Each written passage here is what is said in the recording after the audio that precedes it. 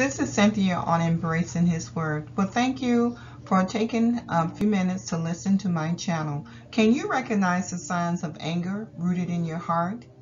Anger can be buried, explosive, and manifest in so many different ways. So I want you to take time to listen to this message and find about find out about the signs and the symptoms of unresolved anger in your heart. Thank you.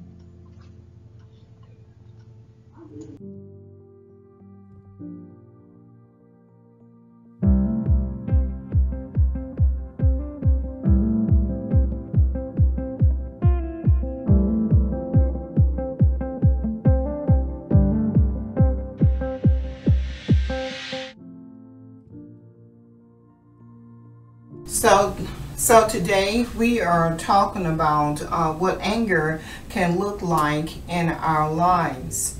Now, anger can come in uh, varying degrees of intensity. Um, a lot of times people hide uh, their anger. They, they can get control of it in such a way they can hide their anger.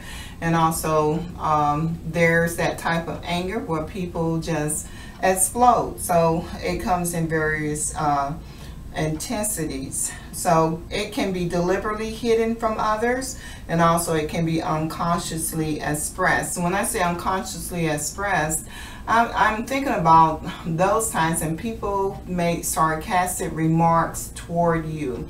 Maybe uh, there is some underlying anger uh, toward you in the individual's heart. So if you find that you're always been sarcastic, um, you may want to examine your hearts your heart about underlying anger. Also, uh, anger can be deliberately expressed through silent treatment, um, snobbing another individual because you're angry at them, deliberately shutting that person out, um, on purpose. You sh uh, shut them out of your life.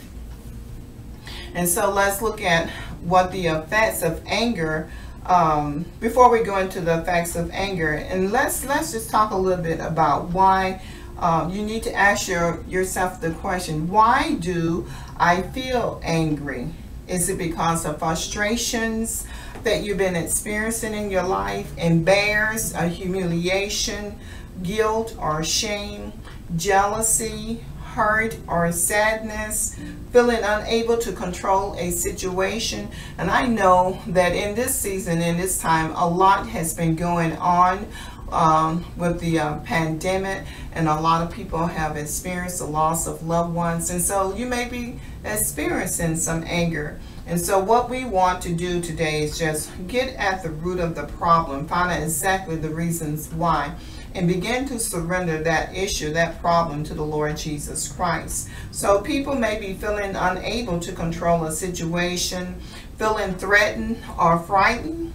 And I know that even in this season and time, people are experiencing a lot of fear, feeling unfairly treated, uh, feeling misunderstood and not listened to, feeling the pressure of living in two worlds, uh, feeling a loss of connection to family and community and country, uh, especially in this season. But I, I want to encourage you that God is for you. He is not against you. And he has certainly not abandoned you. So let's look at that when... Um, how to identify if a spirit of anger is present in your soul. And so we want to be able to uh, able to identify if we really need to not only just pray but we need to take a little bit further and seek deliverance from a spirit of anger. So these are some of the signs that uh, a spirit of anger has entered into your life you know in the first video we talked about uh, the principle of the open door. So if you missed the first video, go back to that video and you hear me talk about the principle of the, of the open door. Whereas there has been some sin and that has not been dealt with and we allow ourselves to continue to indulge in that particular sin. So if we continue to indulge in that particular sin, there is an open door. Whereas the enemy can creep right on into your life and bring that spirit into your life. And so this specific, spirit that we're talking about is the spirit of anger.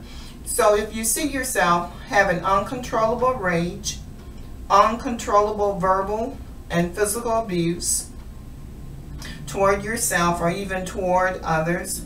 A physical, um, also a physical manifestation.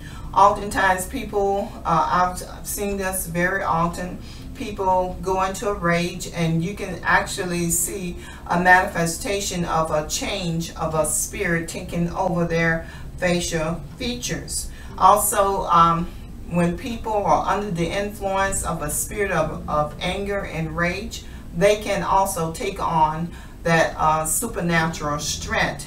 I don't know if you ever encountered anyone with that supernatural strength. That is definitely demonic. Um, uh, people that are beating down doors, uh, punching holes in the wall, threatening through intimidation and murder, continuously stirring up strife, angry or bitter dis disagreement, refusal to forgive, pulling out knives or a gun. So I want to go back to uh, stirring up strife. The scripture says a hot-tempered person stirs up conflict, but the one who is patient calms a quarrel. So these are some of the signs that you can identify if a spirit has entered into your life. So let's talk about when does anger become a problem? So you know it's definitely a problem if this spirit has creeped into your life. Signs that anger might be a problem include feeling angry a lot of the time at intense and overwhelming level, having trouble controlling anger, feeling sad and distressed as a result of getting angry, using alcohol or even using drugs um, to manage your anger, feeling the need to use anger to get people to do something uh, using control and manipulation, withdrawing from people or situations, bottling things up rather than coping with them. So we don't want to bottle our feelings up, but we want to be able to communicate our feelings in a wise manner. Bon, uh, regretting the things you did or said when you were angry. Expressing anger by saying or doing something aggressive or violent. Shouting, swearing, throwing, or hitting, uh, hitting things. So anger, let's look at the word anger versus aggression. Anger can sometimes lead people to being aggressive or violent, but they are not the same. Anger is a feeling, but aggression and violence are actions, and it's these actions that can lead to problems.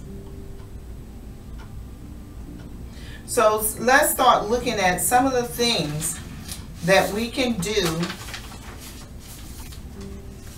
to overcome anger. So I want you to follow up and listen to my next video. Make sure you share this video.